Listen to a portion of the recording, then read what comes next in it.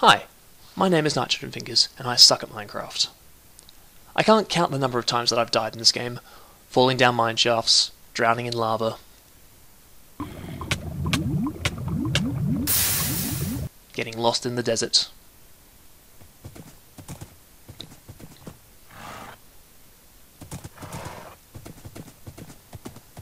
Being shot by skeletons.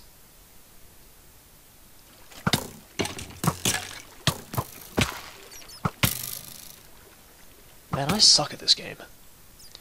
When I went back to try and play Survival for the first time, it must have taken me over a dozen lives just to scrounge together enough diamonds for a fresh pickaxe. Those are diamonds I couldn't afford to squander.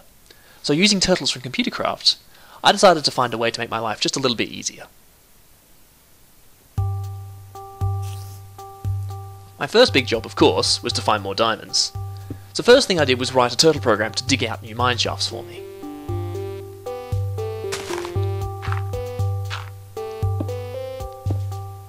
They would keep digging until they hit bedrock. Then they would come back up and calculate the number of torches and ladders that would be required to get me down safely, before placing them in where they needed to go.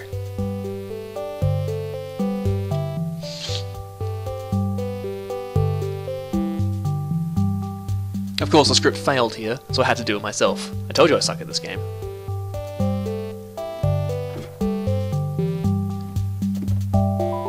At the bottom, the turtles have dug out three small rooms for me, one on top of the other, near the bottom of the map, which serves as the starting point for my mining.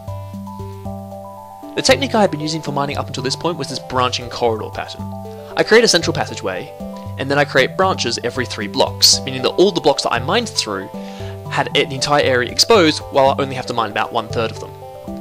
So I developed a turtle routine that would follow a similar pattern, digging out one branch at a time and leaving torches every step of the way.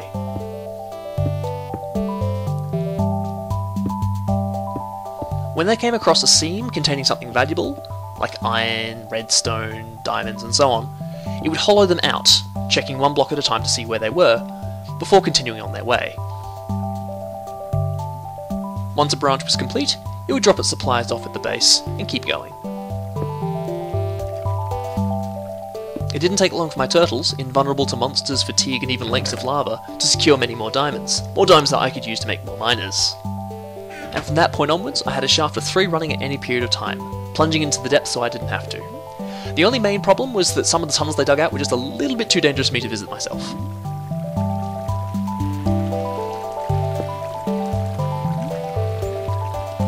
Now, while mining had been made much easier, smelting all that ore and having plenty of fresh torches on hand was becoming really burdensome, so I decided to look into using charcoal, another job for my turtles.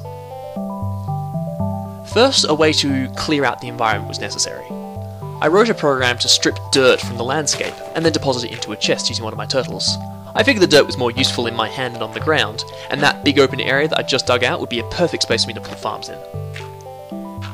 Now this process can take a little while, so I often had several of these programs running at once.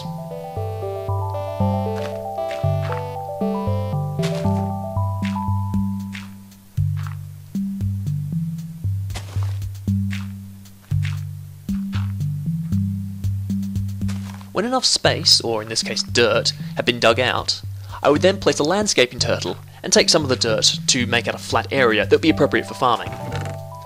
I typically did this over the hole that I had just dug, but in this case I just found an empty patch of land.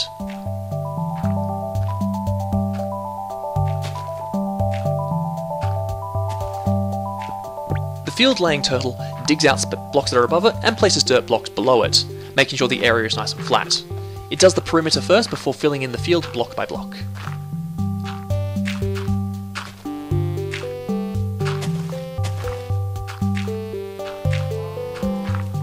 Once a nice field had been laid out, I then placed a chest in the far left corner, with a logging turtle and some saplings and a reference log. It then laid the saplings in the field dimensions, inspecting them for growth periodically, and felling any trees that were ready. Some trees, like pine trees and birch trees, grew nice straight trunks with no branches that could be harvested very quickly, but others, like oak, acacia, and jungle trees, have much more complex layouts. For these, the turtle created a list of nodes in three dimensional space, everywhere that a possible log could be, and would then go through them one by one.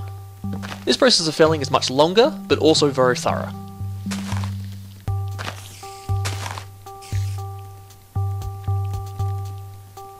Farming didn't have to be limited to trees, though.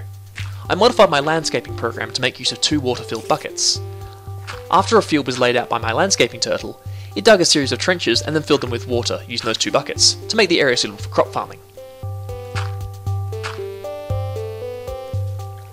When a field was complete, I would give the turtle a specific crop and some metadata details to tell them when they're ripe and what the seeds would look like.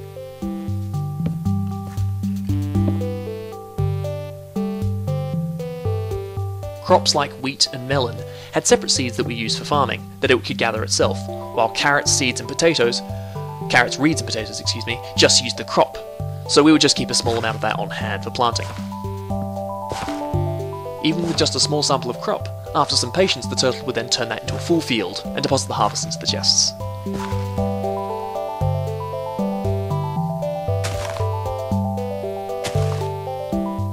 Wood and food now in ample supply, I started looking into automating the smelting process of my resources. To do this, I would give a turtle coordinates for a number of furnaces that I'd laid down, and three input chests. A chest for materials and potential uh, fuel to be placed into as input, a fuel chest that contained charcoal for cooking, and an output chest where the completed product would be put. Whenever a material is found inside that input chest, the turtle will then calculate the necessary amount of fuel required to cook it, and how long the job would take to finish. It then allocates a furnace that's required for this particular job, gets an amount of fuel, and starts cooking.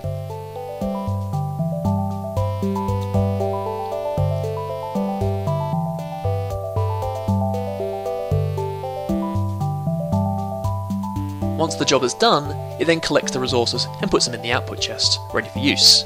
However, if it comes across any uh, wooden logs that are smelted in the process, these are then turned into charcoal, which can be deposited directly in the fuel chest to be used later.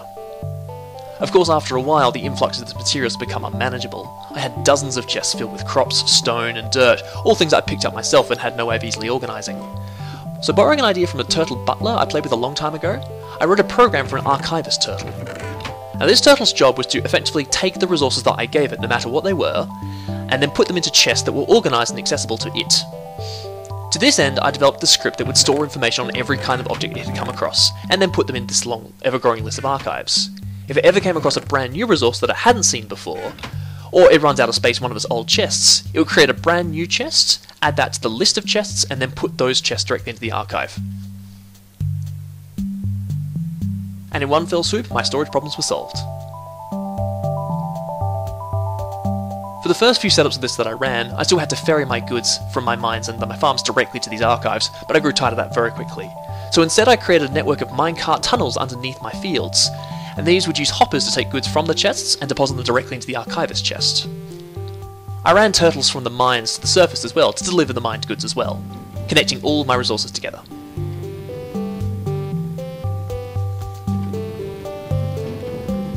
And with that, after a few days of work and setup, I could turn an empty patch of desert, the side of a mountain, a thick intraversible forest, or even the bottom of the ocean into a fertile patch of land, replete with food, minerals, and crafting materials. There's still a lot of work to be done here, and many more problems to solve with my mining turtles, to make them more self-sufficient and more self-reliant. Maybe I'll post videos again if I can figure out how to do that. But until then, I hope this has inspired you to try something similar. I had a lot of fun with this, and I recommend you try it too. Thanks very much for watching.